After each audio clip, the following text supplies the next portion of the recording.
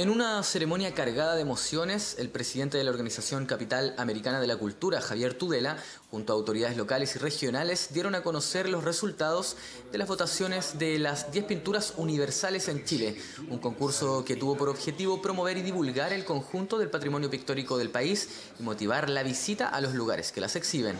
Para el Buró Internacional de Capitales Culturales es muy importante la participación ciudadana en capital cultural. Tuvimos una muy buena participación en la campaña de los siete tesoros del patrimonio cultural de Valdivia y ahora nos lanzamos a una campaña de ámbito nacional en un tema, la pintura, que quizá no es muy popular, y las expectativas que teníamos eran altas, pero al final del proceso de votación y de elección han sido superadas ampliamente.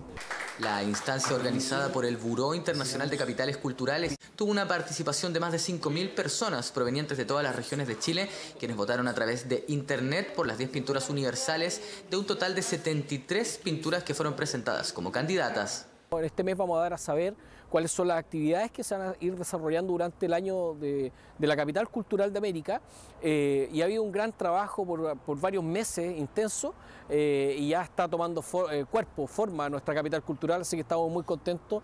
porque esto es un premio para nuestra ciudad. Nosotros éramos ya una capital cultural, pero ahora tenemos una nominación. Uno de los sueños fundamentales es la participación ciudadana que estamos teniendo. O sea, no podemos ser parte de una capital cultural que va a salir internacionalmente mostrando todo lo nuestro, todos nuestros hitos, como lo dije anteriormente. Pinturas de diversas técnicas, tamaños y épocas fueron escogidas por los mismos chilenos, quienes premiaron obras de las regiones de Coquimbo, Biobío, O'Higgins, Los Lagos, Metropolitana y Los Ríos. Desde la ciudad de Valdivia, Sebastián Díaz, Panorama 15.